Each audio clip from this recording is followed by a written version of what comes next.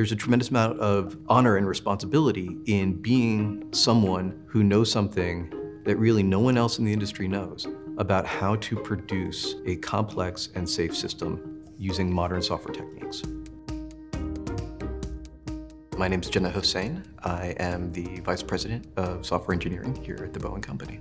We're trying to modernize how we uh, approach software here at the Boeing Company. You've got systems that carry our families, and you've got systems that defend our families. Those things need to work. This isn't an environment where you know we move fast and break things. It's an environment where things can never break. I like working in this space because people have come for this challenge.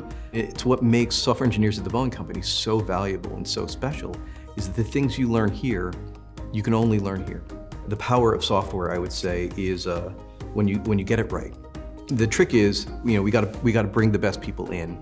We have to leverage modern techniques and apply them in human safety critical applications, and we capture that in our people, and we capture that in, in our processes, and both are constantly evolving. I like coming to work every day and solving problems, but also sitting in awe of ideas and solutions. I feel like I, if you gave me a million years, I wouldn't have come up with that idea. I think that isn't the experience that a lot of people have here, is that every day they are surrounded by and exposed to other brilliant people people who push them to, to be their best. And we are constantly growing and we are constantly developing and we're constantly made better by the new people and we are constantly made better by, by the people who are here. There's not a lot of places you can do that.